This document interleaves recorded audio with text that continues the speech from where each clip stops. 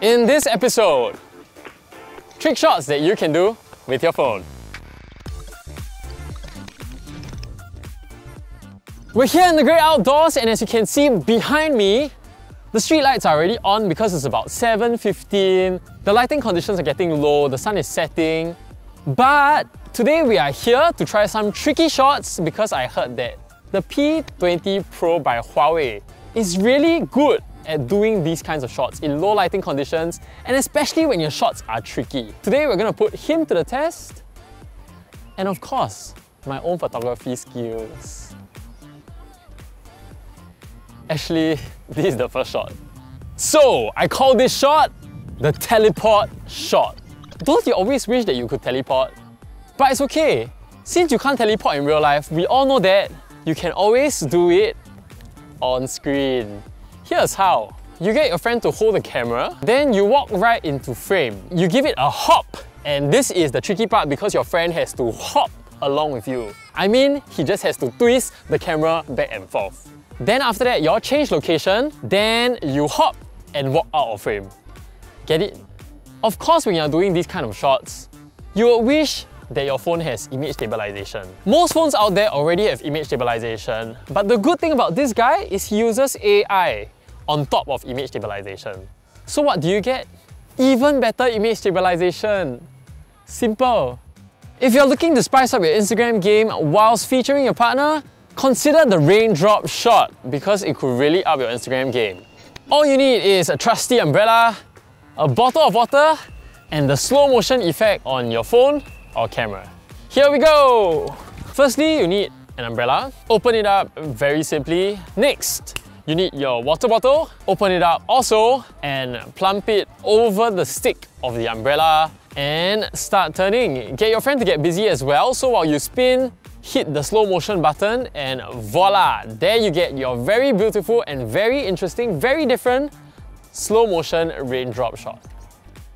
You can try to achieve this shot with 120 or 240 frames per second, but in my case, because I have the P20 Pro, I'm actually doing this with 960 frames per second, which will lead to very detailed shots for your slow motion stuff.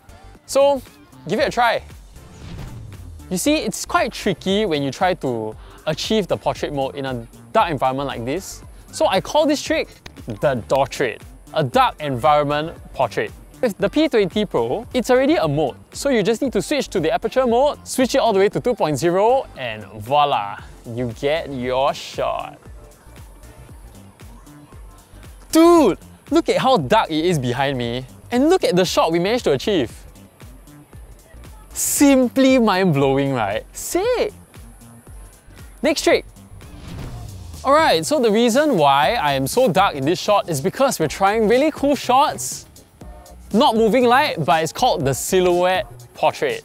So all you need is two phones, or basically a source of light, shining on one side of your face, and a very trusty camera on the other side, shining at the part that light does not shine.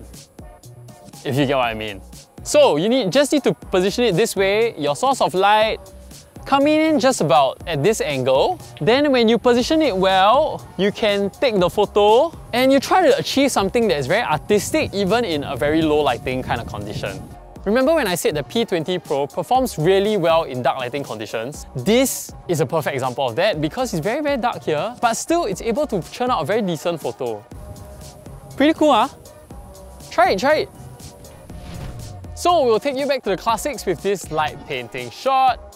Here's how to do it. Hold your camera still, make it really still, try to get a tripod if you can, and then adjust the shutter speed to really low. You press the shutter, tell your friend to get busy writing whatever he or she wants, then press the stop button, you're done. But of course, in my case, I'm using the P20 Pro, so it already has this inbuilt function. I just need to open the camera, go to this light painting function, press the shutter mode, tell my friend to get busy, and voila, it's done. Out of the oven, Next one, on to the next oven. Okay, the next trick is a very simple trick, but yeah, it's able to really bring up your Instagram game by so much because it's called the 360 shot. All you need to do is get your friend to help you take many photos of yourself, put them together as such. You pick a spot whereby you are of perfect lighting. So now the job is for your friend to do a 360 degree spin around your body. You can do whatever action you want, whether you want to jump, jump, jump, jump, jump, or you just want to stand still and do your thing. You just face one direction, your friend does the 360 degree spinning, and at the end of it, this will be the masterpiece that you will get.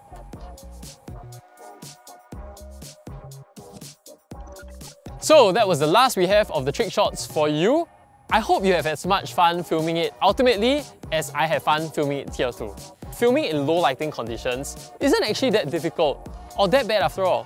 For me, the P20 Pro really helped me achieve that. I mean, the lighting is pretty harsh and honestly, it really, it really turned out great photos. If you like what you see, remember to like, share and subscribe and also share this video if you could and let us know in the comments below what you want to see more of. Till next time, I'm Timo.